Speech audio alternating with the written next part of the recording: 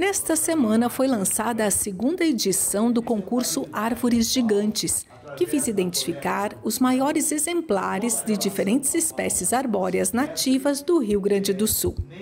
Na sua segunda edição, a espécie escolhida é a erva mate.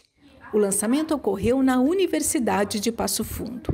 Na oportunidade, foram plantadas cinco mudas de erva mate, representando os cinco polos ervateiros do estado. 2024 será o ano de divulgação do concurso. As inscrições e o resultado ficarão para 2025, devido aos eventos climáticos que afetaram o estado. Mais informações podem ser obtidas nos escritórios da Emater Ascar.